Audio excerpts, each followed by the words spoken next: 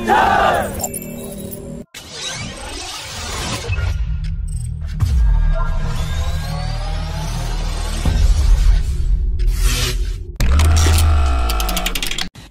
India's next generation main battle tank and high endurance autonomous underwater vehicle project has not cleared the technology demonstration phase as it was reported initially, but actually both these projects have now been cleared for the technology demonstration phase, and we had already corrected the news within few hours of posting the video, and even pinned the mistake in the comment section.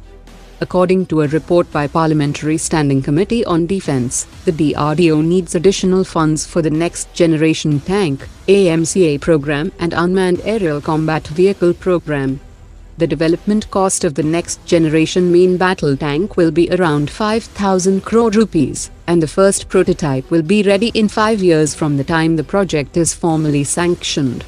The FMBT will be a highly mobile tank weighing less than 50 tons that will be powered by a 1500 horsepower indigenous engine that will be two-thirds the size of the Arjun Mark 1 engine, and the DRDO has also formed a national team that comprises members from Indian Army, top institutions and Indian defense industry, and will also include an international consultant for the engine program, and both the indigenous engine and transmission will together be called the Bharat Power Pack.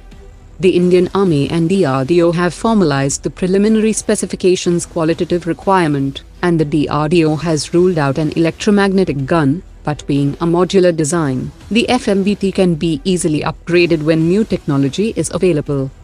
The DRDO has already chosen the heavy vehicle factory in Avadi as the FMBT production line, while several micro, small and medium enterprises will supply small components and subsystems for the project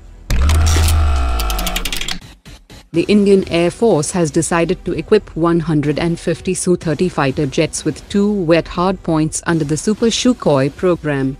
The wet hardpoints are actually the hardpoints that are used to carry external fuel tanks, and the use of two such wet hardpoints will enable the Super Sukhoi to carry two drop tanks carrying a total of 1,400 kilograms of additional fuel.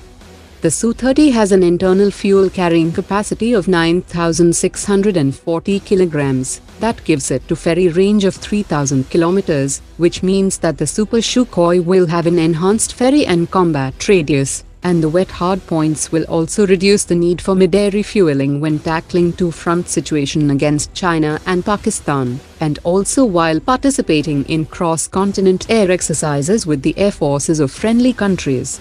If there is no need to carry two fuel tanks, the wet hardpoints can also be used to mount air-to-air -air missiles like other hardpoints.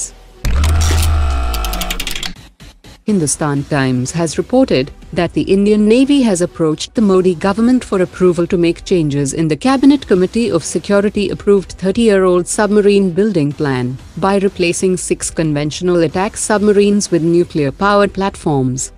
along with the 6P-75 and 6P-75I submarines, the Indian Navy wanted six more AIP-equipped diesel submarines, but the national security planners convinced the Navy admirals that nuclear attack submarine is a much more potent platform with the capacity to stay below surface for months and only surface for crew change and logistics. After the approval, the Navy will approach the Defense Ministry for acceptance of necessity and will invite request for proposals from close partner countries for joint development and building of the six nuclear-powered submarines under the Make in India initiative. The DRDO will soon be procuring an Airbus A320 aircraft from the Indian airline company Air India that will be used as an in-house flying test bed aircraft for various airborne radar programs, including the indigenous Uttam Mark 4 radar for AMCA 5.5 generation fighter jets. Next Generation AWACS program and Indian Navy's Multi-Mission Maritime Aircraft Sensor Suite program. The currently operated HS-748 aircraft has its service ceiling limitations, so the testing of radars at higher altitudes is not possible, and using A320 as a flying testbed could mean that labs can obtain better data at a much faster rate than ever before, and technologies will be tested at higher altitudes and faster speeds.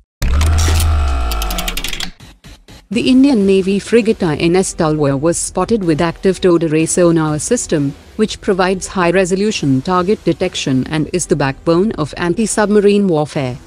India had signed a contract with the German firm Atlas Elektronik in 2017 for the towed array sonar systems, and the first six systems had come directly from Germany for the Kamorta-class anti-submarine corvettes, and the rest will be manufactured in India under cooperation with Bharat Electronics Limited, that will be equipped on remaining ships including Delhi-class and Kolkata-class guided missile destroyers.